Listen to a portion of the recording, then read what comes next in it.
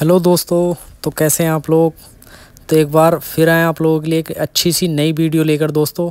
तो आज जो हम बात करने वाले हैं, समर सेविल के स्टार्टर के बारे में बात करने वाले हैं कि समर सेविल का जो स्टार्टर होता है, वो किस प्रकार से तैयार किया जाता है? आज उसके बारे में पूरी जानकारी दे के जाएँगे दोस्तों। अगर आप चैनल पर नए हैं तो प्लीज़ दोस्तों चैनल ज़रूर सब्सक्राइब कर लें, ताकि इससे रिलेटेड जितनी वीडियो आती है हमारी, आप लोगों तक आसानी से पहुँच जाएँ। तो चलिए स्टार्ट करते हैं। ज़्यादा समय नहीं लेंगे आपका आज। बहुत छोटी सी वीडियो है। तो हमें अगर स्टार्टर तैयार करना पड़ेगा तो उसके लिए हमें क्या क्या करना पड़ेगा? तो देखिए, हमने सबसे पहले क्या किया है, एक स्टार्टर की बॉडी ली है। अपोलो कंपनी की बॉडी है। भारी भरगम अच्छी बॉडी है।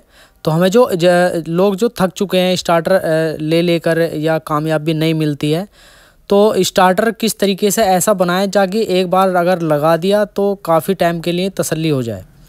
तो उसी से बचने के लिए हमने एक नया स्टार्टर तैयार कर रहे हैं। हैवी ड्यूटी में स्टार्टर बना रहे हैं हम। सारा सामान इसके अंदर अच्छा कम, अच्छी कंपनी का लगा रहे हैं। एक एक सामान चुन चुन के लगाया है दोस्तों। ये देखिए आप तो सबसे पहले हमें करना क्या है, जो इसके जो स्पेयर पार्ट हैं, हमने अलग अलग से उठा के लगाए हैं इसके अंदर। कॉन्टैक्टर जो है कोई अच्छी कंपनी का लेके आए हैं, उसको लगाएँगे। और जो स्विच वगैरह हैं, जो मीटर वगैरह हैं, जो पुश बटन है हमारा, जो स्टिप है, बाकी जितना भी सामान है, सारा अच्छी कंडीशन का सामान है।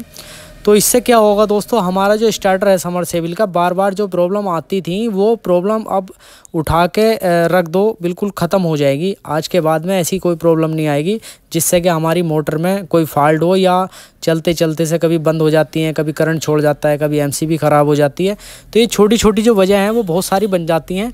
तो उससे बचने के लिए एक ऐसा स्टार्टर तैयार कर रहे हैं, ताकि जो मतलब मोटर के लिए भी बहुत अच्छा रहेगा और अपने जो घर में लगाने वाली चीज़ है, उसके लिए भी बहुत बेहतरीन है।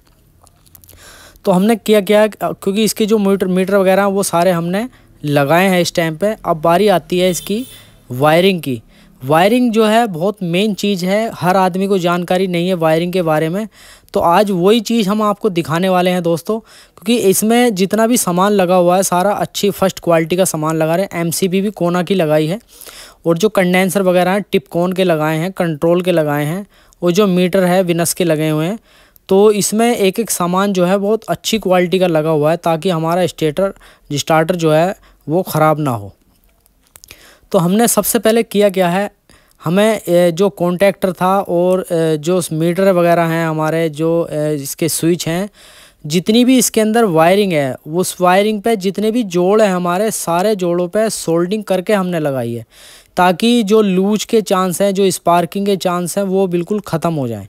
तो आप देख रहे हैं, जितनी भी हमने वायरिंग लगाई है इसके अंदर, जो मीटर वगैरह पे है, जो वोल्टेज मीटर है या पुश बटन है, या जो हल्की वाली जो वायरिंग है उसमें हमने पौन एम का इस्तेमाल किया है और जो हैवी वायरिंग है स्टार्टर की उसमें हमने डेढ़ एम का इस्तेमाल किया है।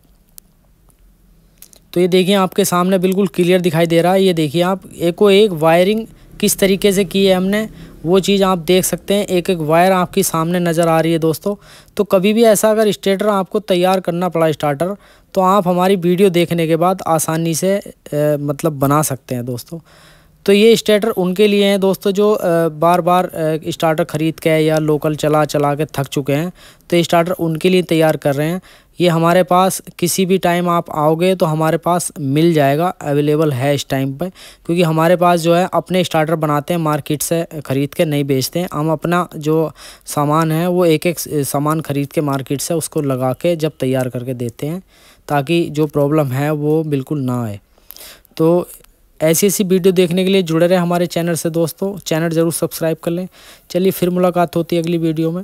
Thank you very much